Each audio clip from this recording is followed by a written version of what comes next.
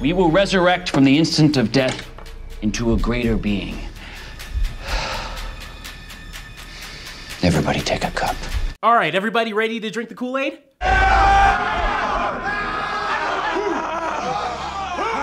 You go first. Uh, you, you go first. I promise. I will drink right after you drink. I promise. you know what? I, I gotta use the restroom real quick. Where- where are you I'll be going? Right back. Greg, where are you where are you going? We're supposed to finish these. All right, I'm gonna go find Greg because we're breaking down episode 9 of American Horror Story Cult Drink the Kool Aid. But before we get into it, make sure you hit subscribe so you don't miss any of these breakdowns and videos on The Walking Dead as well as Stranger Things Season 2.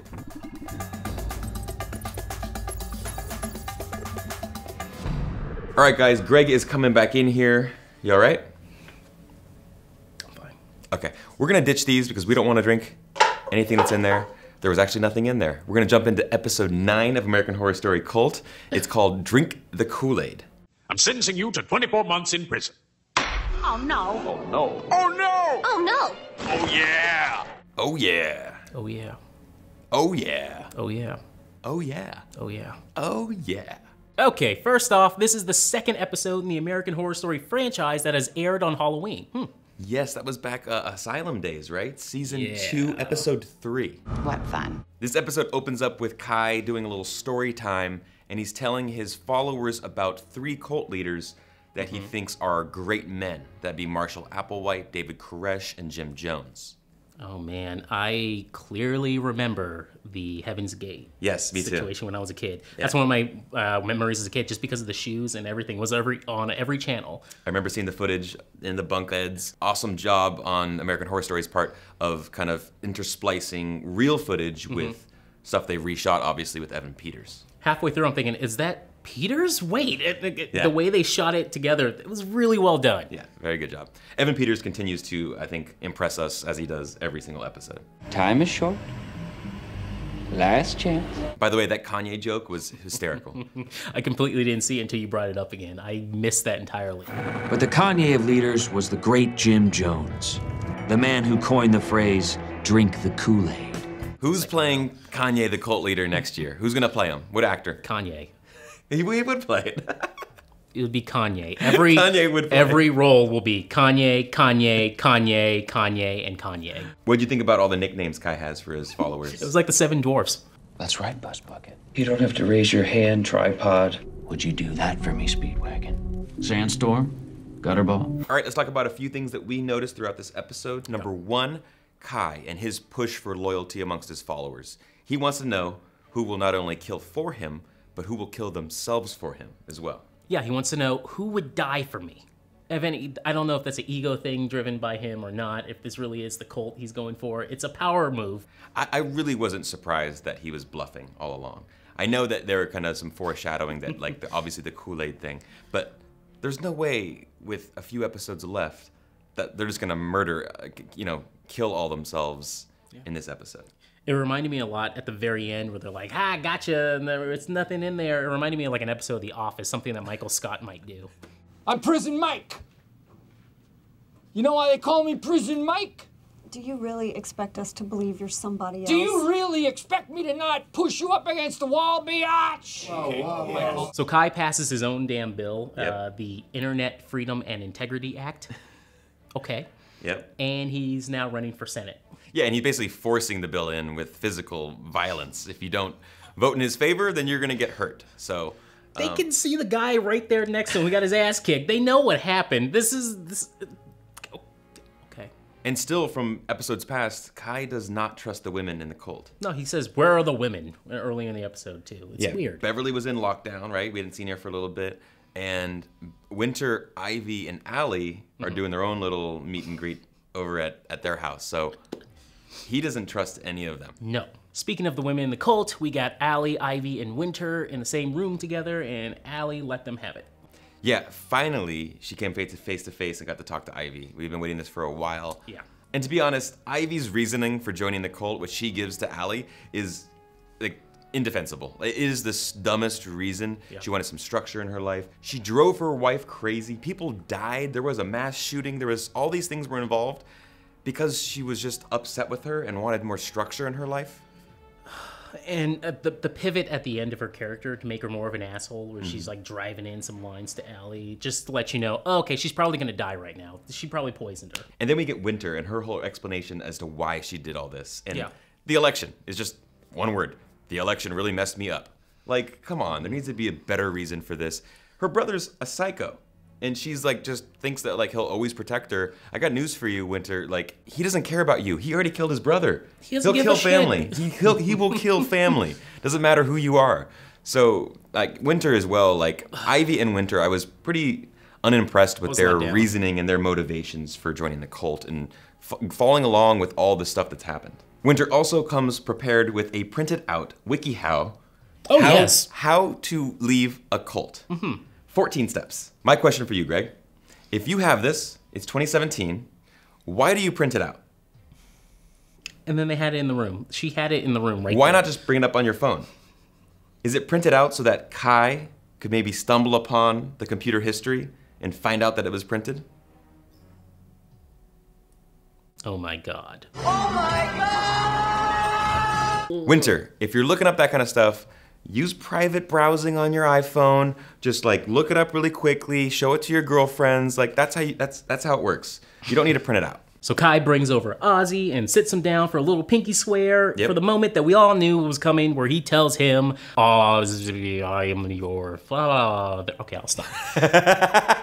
Yeah, uh, I wasn't surprised. I don't think either of us were surprised. We kind of saw this coming that Kai was going to claim the fa- being the father of Ozzy. Messiah child. Later on, we'll find out that it's not exactly true.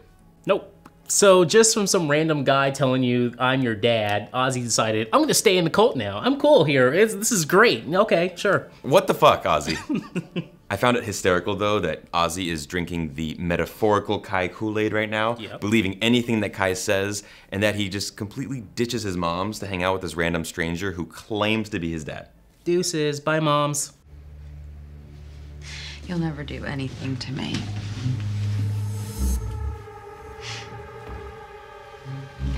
I already have. Okay, so Ally got her revenge on Ivy. Finally, long awaited. Yes. And I enjoyed it. And I think that you and I knew what was happening pretty early on, too. Oh, yes. They, they made it pretty obvious. Um, if someone is talking about revenge and they're feeding you food and they haven't touched it yet, you know you're about to die. It was an awesome death, pretty damn vicious. I enjoyed seeing Ally get to watch Ivy die. Ivy's POV of Ally, just that smile was perfect. Yes, Sarah Paulson during this whole sequence was amazing. She was outstanding. I was totally rooting for her. But I do have to say that this poisoning is not top dog. Also, I found it pretty ironic that a chef slash restaurant owner would die by food poisoning slash wine. That pasta wine, too much of that. Uh, Don't you think? It's like rain.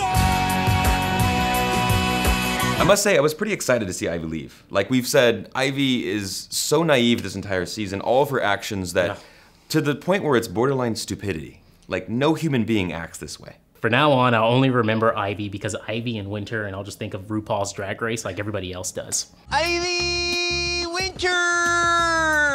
By the way, did you notice Ally's look? She looks a lot different. She got a makeover, obviously. She's definitely made a transformation from the beginning of the season where she was panicked, hysterical. Now she's much more confident. You can see that in her physical well-being now too. Yeah, she's glowing. A lot of movies do this. There's one great example in William H. Macy's character in The Cooler. He's his character transforms from like this guy was like his suits are too big for him to Yeah. later on he's like more in power, his suits fit. He's just a different character without them doing like montages of anything like changing suits or getting fitted or anything like that. Yeah, it's an effective way of telling us that this character is mm-hmm. not the same person that we met in episode one. She is completely different, and that means trouble for Kai, to be honest. And finally, we find out that Kai is a horrible dad. Yeah, in the five minutes that he's a father, we find out one, he has a temper tantrum. He doesn't know how to take real facts. Yeah, when you're presented with facts, this is not how you're supposed to react. Wikipedia is fake news. I'm the only one you can trust. I'm the only one who knows the truth. I know things. That's totally Kai channeling Trump right there. And then he put Ozzy on timeout. Okay. Okay, let's look at our favorite lines of the episode. Ryan, what do you got? There were a few that I really enjoyed, but my absolute favorite was from Kai when her and Ally are disposing of Ivy's body. Ooh. That's for family. I just find it hysterical that Kai has these rules. He's a total nut job, but he has these rules that he cannot break. He could not put another body, a dead body, where his family is. That's the family pile over there. That's the family pile over there on the bed. Dude, stop taking the Adderall. Yeah, dude is a psycho. Anyways, uh, what was your favorite line? I got this one from Ivy. I was an idiot.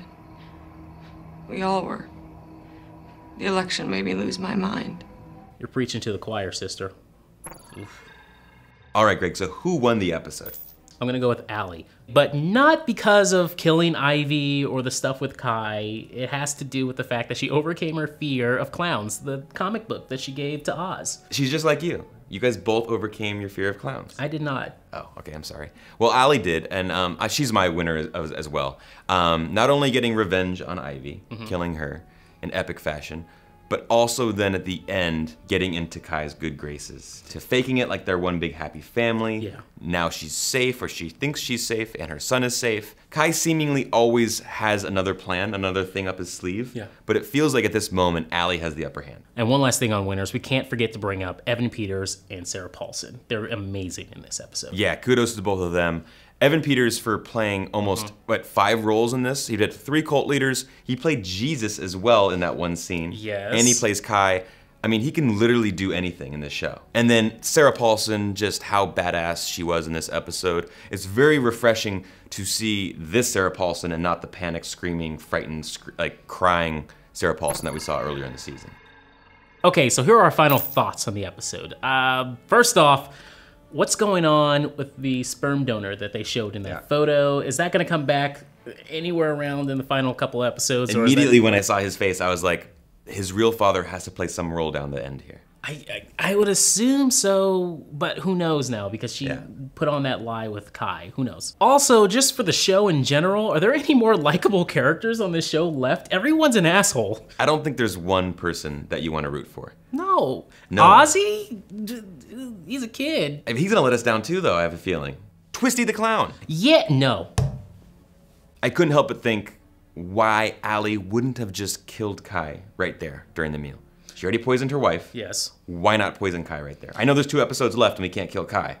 That's the only reason I have. I assume that maybe she was worried that someone was going to taste test the food. That's right. He did bring that up earlier in another episode about taste testing. Yeah.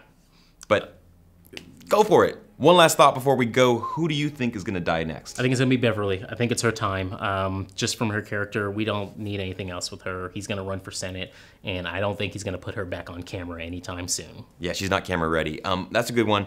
I think Winter. I think that Ally's next move is to get rid of Winter, Mhm. and it would really mess up Kai and make it a little unstable. And then that's her out. That's her out. Get grab Oz and just bounce. Just get out of there, girl. Just go. Have Kai kill Winter. Oh. You seduced my wife.